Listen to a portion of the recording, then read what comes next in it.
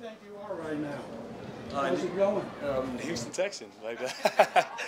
uh, I've, I mean, I'm here in training camp, man. I'm having a great time with the guys, like getting used to being an NFL player, you know, being a pro. Um, but you know, I love where I'm at. I love the guys. I love the team. Um, we have a great culture building here with Coach DeMeco and all the guys that we bring in.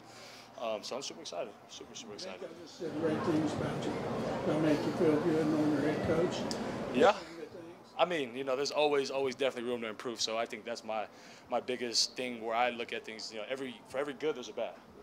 Um, so I try to approach it that way. So no matter how many good things I have, I try to work on all my bad things. So uh, that's how I approach it. Let's talk How about does let's talk about what you have to digest being at the Mike linebacker. How much is it? How much has it been like sensory overload yet? Has, has it slowed down a little bit for you Yeah. to digest it yet? Um, we ran a lot of complex stuff at Alabama.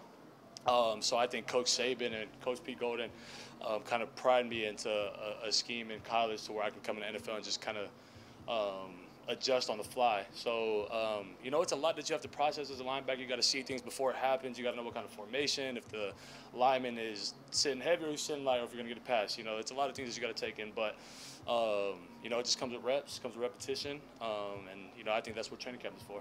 How good is it to be out there with Christian? How good is it to be out there with Christian Harris?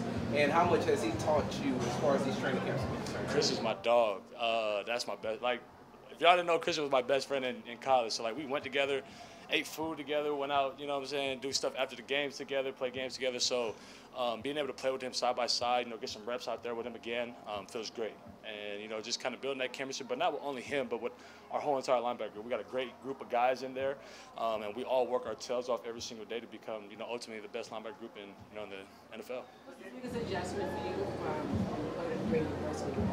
What's the biggest adjustment so far? Uh, I ain't gonna lie, being a rookie, I think that's the biggest adjustment. Starting over, um, earning guys' trust again, um, and being that guy that'll come in and put his head down and work every single day. Um, and I think that's the identity, not only me, but all of the rookies that you know is here during training camp that we're trying to create is just hard-nosed working individuals that'll ultimately collect into a great team at the end of the day.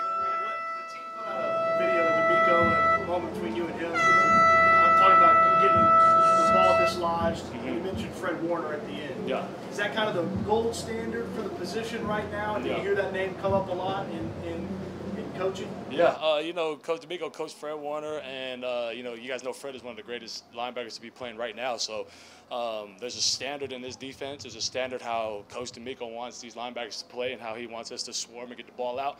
Um, so that's definitely you know an ultimate goal for not only the linebackers but all 11 guys on the field, the D line, the safeties, the corners. You know, it's everybody. It's not just the linebackers. So um, it's an identity that you know we're slowly creating throughout this training camp. How much of this training camp? How much of this training camp reminds you of a Nick Practice?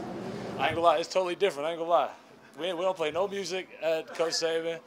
You know, we we out here full pads every day, uh, but uh, it's hard nosed, and I think that's what Coach Saban instilled in a lot of Alabama players is hard nosed football. And um, I'm truly grateful for him, and um, you know, he helped me to get where I'm at today, and you know, I'm blessed. Henry, you kind of talked about this being a new start for you, but Yeah. this is technically your second new start because you transferred from Tennessee to Alabama. Yeah. Are there any similarities between what you went through during those time periods, and if so, what were they? Um, I think earning trust of guys. I think that's the biggest thing. Is you know you go from group to group to group, and every group has a different bond. Every group has, you know, different lingos and how we communicate with each other. So I think that's the biggest thing in you know building each other's trust. So um, if I can get these guys to trust me on how I work and how I communicate and how I go about my business, I think um, there's like great things to come ahead of a lot of How'd you get on hard nose. Put your head down and work. Aside from you all being linebackers in the same group, you know, what connected you and Christian? Hey, hey, buddy. This is my Christian. Come here, buddy. I know, buddy. I know, buddy. I'm coming. I'm coming, buddy. Uh, that's. Uh, I mean, can you say it again? So what connected you two when you first? Went to Alabama. Uh, we've known each other before we went to Alabama. Um, but I think it's just the relationship we have, like off the field. Like we spent so much time off the field, like just at each other's apartments, um, and just building that chemistry. So you know, that's my dog, that's my best friend, and I, I think it just clicked with us, and I, and you know, I work for life. How good is it to be to, to have your family here with you on this ride? Man, it's a blessing. I'm, I'm, I'm Samoan and Tongan, and the Polynesian culture, we're huge on family. And family means everything. Uh, faith, family, football. I mean, that's what we believe in. Um, you know, I carry my last name To'oto'o with pride, and, and, you know I'm the first one to do this, so I, I carry that with joy, um, and I'm gonna give it my all while I'm here. How much does, how much do you weigh? I was 230. Is that ideal for you? Yeah. Appreciate it.